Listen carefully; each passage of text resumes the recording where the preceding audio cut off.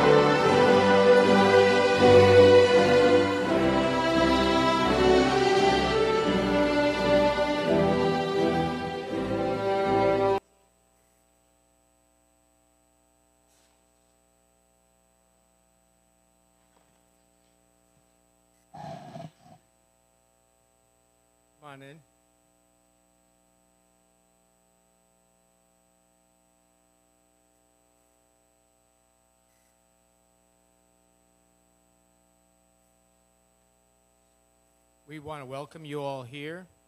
But before we get started, let's pray. Father God, we're just really, really grateful, Father, that we can be here today. We're grateful, Father, for these students, Father, as they're passing into a new part in their lives as they move into high school. We're grateful, Father, that we've had the opportunity to work with them and to be with them. We're grateful, Father, because it's you who gives us that opportunity. We pray, Father God, that they look at this as a milestone in their lives. But more than that, Father God, we pray that what they've heard and listened to over the years here, that the most important thing in their lives will be them looking towards you. In Jesus' name I pray. Amen.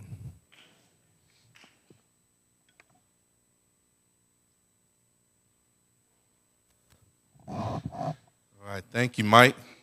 And first of all, welcome everybody. Welcome to all of the friends, family, teachers, students of RCA, and most importantly, the graduating middle school class of 2016 from eighth grade. You guys, this is for you. We just want to, first of all, acknowledge the fact that we are very blessed to be here. It's one of these opportunities that sometimes we overlook, sometimes we take for granted, but being able to matriculate, look it up if you need to, guys. Being able to matriculate through life and to reach a milestone is something that is of great importance. And I know from being their homeroom teacher this year and from being their PE coach, and maybe a few other things that they won't name, I know that it has been a great and amazing year, crazy year, but a school year nonetheless, a school year full of hope, a school year full of pride, and a school year hopefully to build upon for their futures. And so, as I was thinking about this graduation, I wanted to have someone come up who could really speak from the heart to them. It was an observation I made from a distance, but it's one that I know is appropriate. And so at this time, I'm going to ask for Brother Rob to come up and to give you guys few words of encouragement and hope it'll be hopefully it'll be beneficial for everyone here as well. Thank you very much.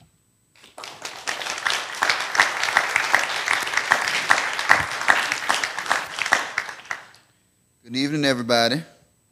How are you doing? I'm gonna wave. I want y'all to wave back, okay? All right.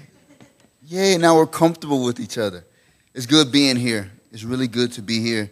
I got the privilege to um, teach a lot of these young men and women.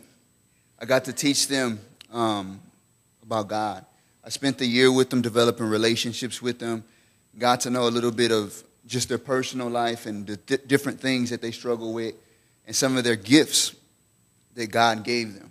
So I got to really see their character. And just spending time with y'all I wanted to leave y'all with something because I want to miss teaching y'all in Bible class. You guys start off with, as a rough class, one of the toughest class I've ever taught in my life, okay? But toward the end of the year, you guys, you learn respect. You guys learn to listen. Y'all still struggle with it. You learn to listen. And it's really cool. So I just want to leave y'all with a few words. One word that sticks out to me that keeps popping in my head when I was asked to speak was wisdom. Say wisdom. Wisdom. Okay, the reason why wisdom, when I was younger, I wasn't really wise. I made a lot of silly mistakes.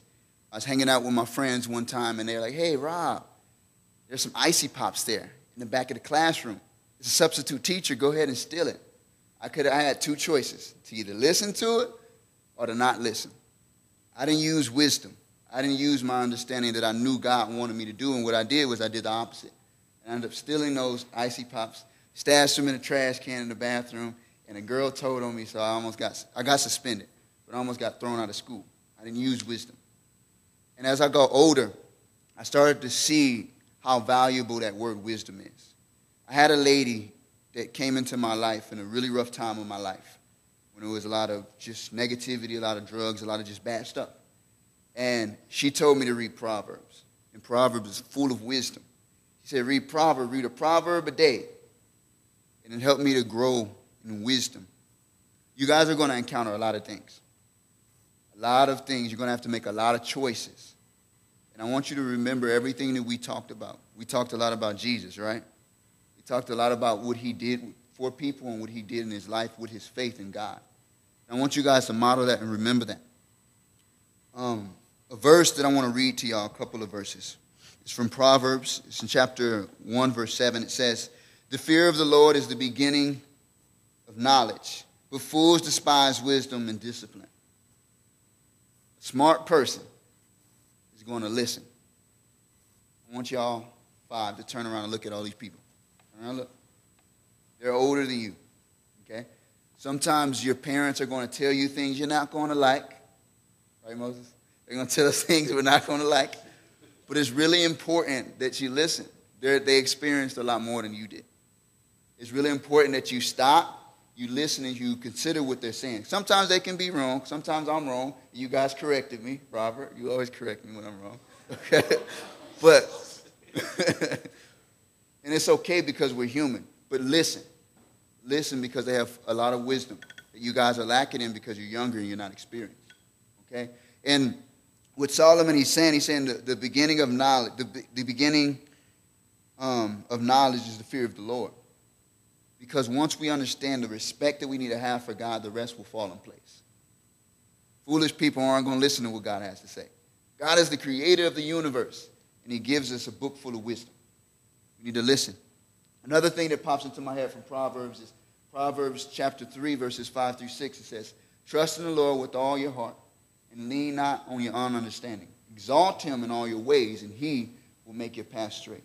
Sometimes what we do is we go off of our own thoughts and things that we think are good to do, and it doesn't turn out good. Go to God's Word. When we were in Bible class, we were opening up that Bible. I made each and every one of y'all. Y'all used to get so mad at me. I don't want to read it. I'm listening. No, I gave y'all a Bible and I made y'all open it and read it. You need to go back to God's Word. It's the most important thing in your life. I want to end with a story of a guy. His name is Solomon. Say Solomon. Solomon was the wisest man, except for Jesus, to exist. Okay? This man, he God came to him in a dream and a vision. And he said, Solomon, you can have anything you want. You're about to be king. You can have anything you want. You ask me for it, I'm going to give it to you. What Solomon asked for, he asked for wisdom and a discerning heart to guide his people. And so, what God did in turn, God said, Because you didn't ask for me to defeat your enemies or ask for wealth, what I'm going to give you is I'm going to give you what you asked for wisdom, and I'm going to give you all those other things. Solomon was the wisest man to exist, and he was one of the richest men, men to exist. This is through God. And it goes back to that Bible verse where it says, Seek ye first the kingdom of God and his righteousness, and all these things will be added unto you. If Solomon would have went after what he wanted, he wouldn't have got what he wanted. And sometimes we got to wait on God's time. Wait on God's time. Solomon ends his life, he ends up experiencing just about everything that every human being thinks that they want to experience. And he found out that it was all meaningless. He found out that it was all in vain. All the work he did, all the things he experienced, all the things he built and made, he found out that they were meaningless. You're going to graduate from eighth grade, you're going to go into high school. And then after that, you're going to college. I said you're going to college. No. But you got a choice to go to college. And you got a choice to get jobs and all of that. But the most important thing, more important than a job, more important than your education, more important than your boyfriend, girlfriend, or whatever, is God. Because when you have God, everything else will fall into place. Solomon, he experienced everything. And he said it was all meaningless. But God was. God wasn't. So just keep that in mind, okay? I love you guys. Remember everything you learned at Redland Christian Academy? Don't be foolish. Okay? Love you.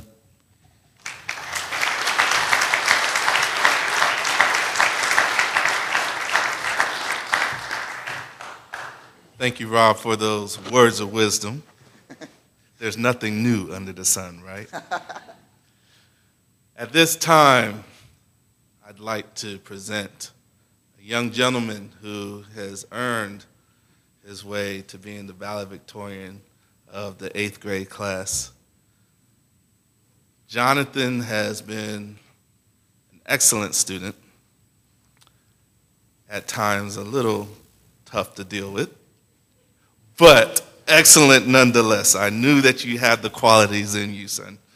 So I want to go ahead and welcome you up here to the stage. The stage is yours. Just talk from your heart.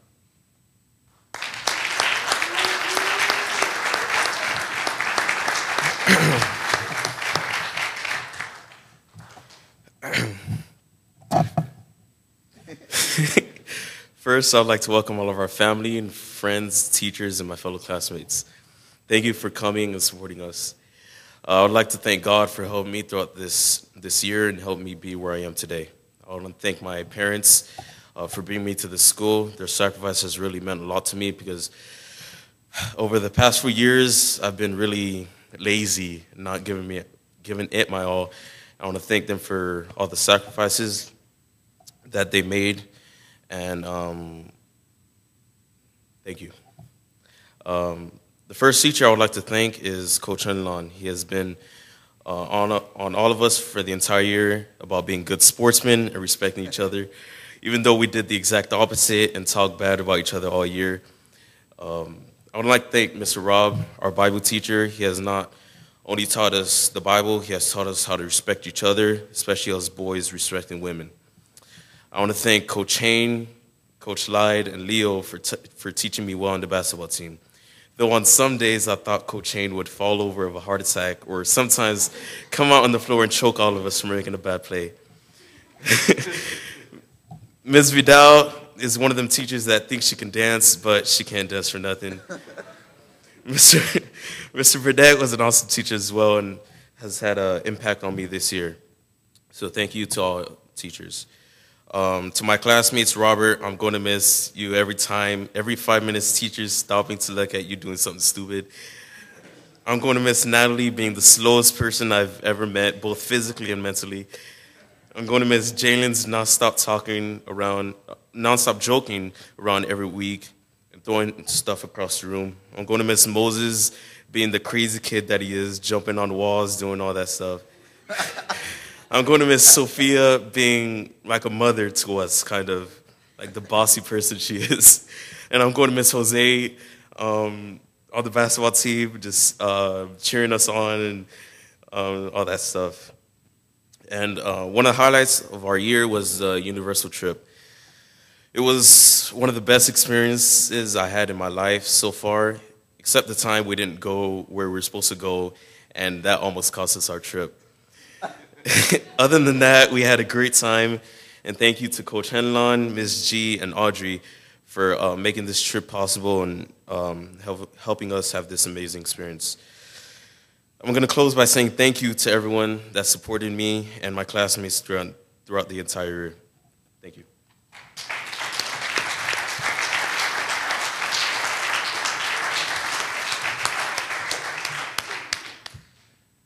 At this time, we're going to have a slideshow of the students from our graduating class of 2016 from the eighth grade to high school.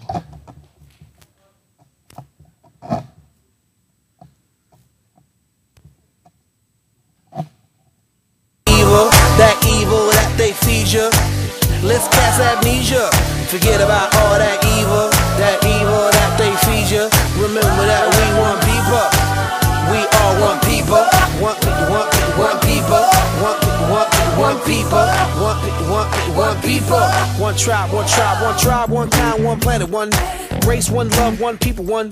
Too many things that's causing one to forget about the main cause, connecting, uniting. But the evil is seated and alive in us, so our weapons are colliding, and our peace is sinking like Poseidon. But we know that the one, the evil one's threatened by the sun, so we come and try to separate the sum. But he dumb, he didn't know we had a will to overcome. Rejuvenate by the beating of the drum, come together by the cycle of the hum. Freedom when all become one, forever.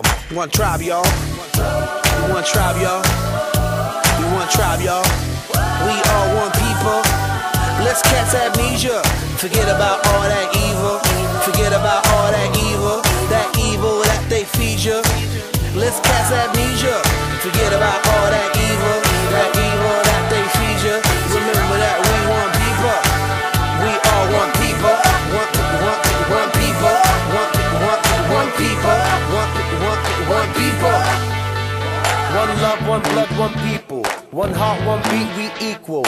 Connected like the internet, united, that's how we do. Let's break walls so we see through. Let love and peace lead you. We could overcome the complication cause we need to. Help each other make these changes. Brother, sister, rearrange this way of thinking that we can change this bad condition. Break, use your mind and not your greed. Let's connect and then proceed. This is something I believe. We are one, we're all just people. One tribe, y'all. One tribe, y'all. One tribe, y'all. We all one people. Let's cast amnesia. Forget about all that evil. Forget about all that evil. That evil that they feed you. Let's cast amnesia. Let's cast amnesia. Forget about all that evil. That evil that they feed you. One tribe, y'all. We, we, we, we one tribe, y'all. One, one, one people. People. One, one, one people. One, one, one people. One, one, one people. Let's let's cast amnesia. Lord, help me out. Trying to figure out what it's all about. What it's all about. Cause we one and the same. One and the same. Same joy, same pain. And I hope that you're there when I need ya. Cause maybe we need amnesia. And I don't wanna sound like a preacher, but we need to be one. One world, one love, one passion. One tribe, one understanding. Cause you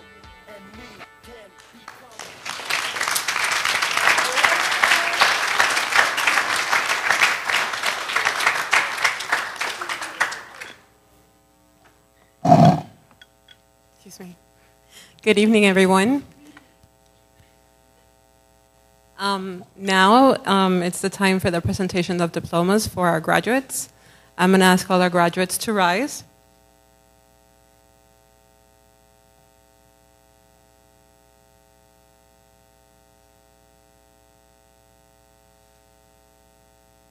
And we're going to begin with our valedictorian, Jonathan Augustine.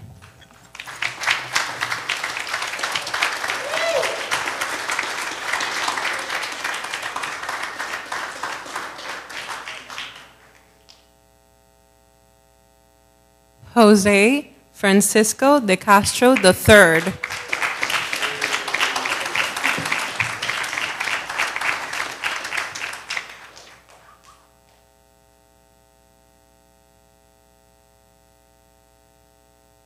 Robert Lower Emmons IV.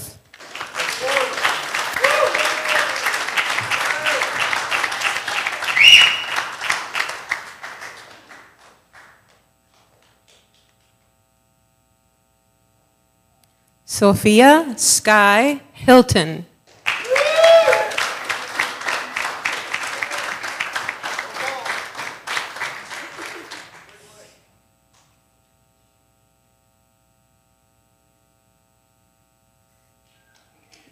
Moises Elijah Pena.